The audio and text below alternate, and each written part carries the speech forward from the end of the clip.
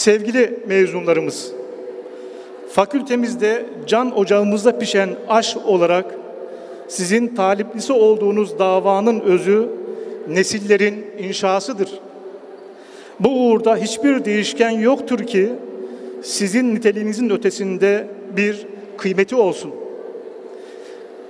Marif davamızı sırtlayan, yetişmiş insan gücümüz olan öğretmen unsuru, eğitim teknolojilerinin, binaların, müfredatın çok ötesinde anlam ifade eden ulusun istikbalinde en derin izi bırakan mühürdür.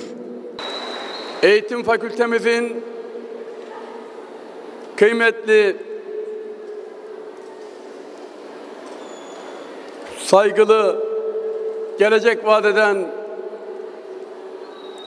öğrencileri ve bu milletin geleceğinin inşasında yeni nesle dokunacak olan sevgili öğrencilerimiz gününüz kutlu olsun.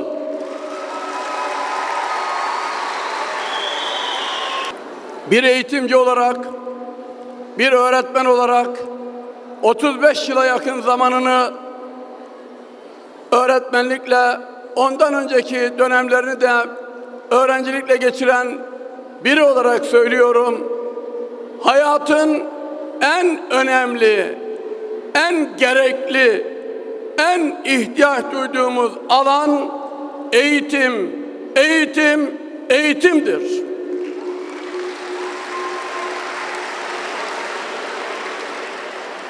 Sevgili gençler, sizler bu milletin çocuklarını ilmek ilmek dokuyarak Türkiye'nin inşallah nitelikli insan gücünü yetiştireceksiniz.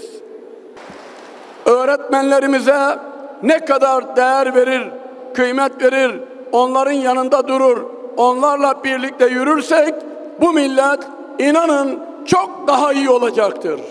Eğitimi olmayan insan eksiktir. Eğitimi olmayan insan problemdir. Eğitimi olmayan insan yanlış işleri yapmaya meyyaldir. Eğitimli, kültürlü, ahlaklı insana ihtiyacımız var. İşte bunları da sizler inşallah diğer öğretmenlerimizden devralacağınız nesilden nesile bu faaliyeti hep birlikte sürdüreceğiz.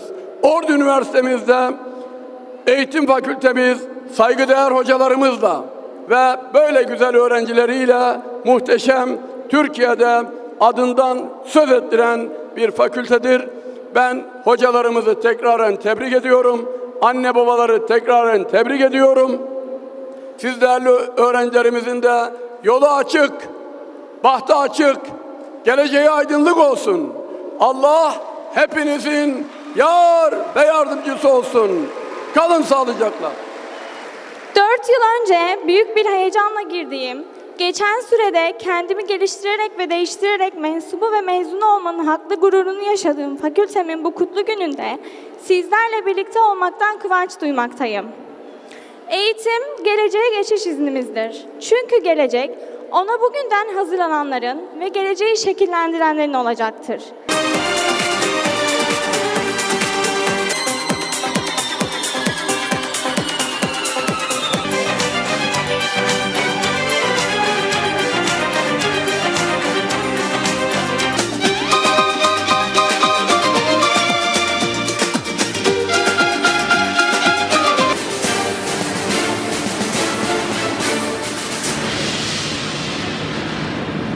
Görev ve sorumluluklarımı bilerek bunları davranış halinde göstereceğime namusum ve şerefim üzerine yemin ederim.